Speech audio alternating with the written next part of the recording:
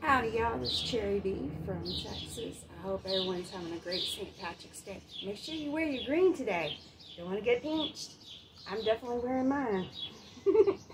so I hope everyone's having a positive, blessed day. Keep your vibes up. Stop and smell the roses today. Spring is definitely here, finally. Thank you, God. Thank you, Holy Spirit. Thank you, Universe. And thank you, definitely, Mother Earth.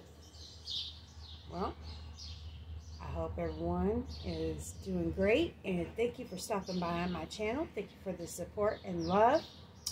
I send you love and light and having a great, beautiful day.